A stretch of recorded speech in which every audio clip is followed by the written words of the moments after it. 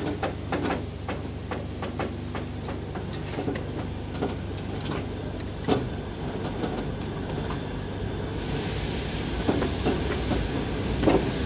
da haben wir dann gleich mal die Fahrkarten, dann haben sie Ruhe. Ja, da muss ich schon voller, hat meine Frau. Ja, da kann ich ja hingehen.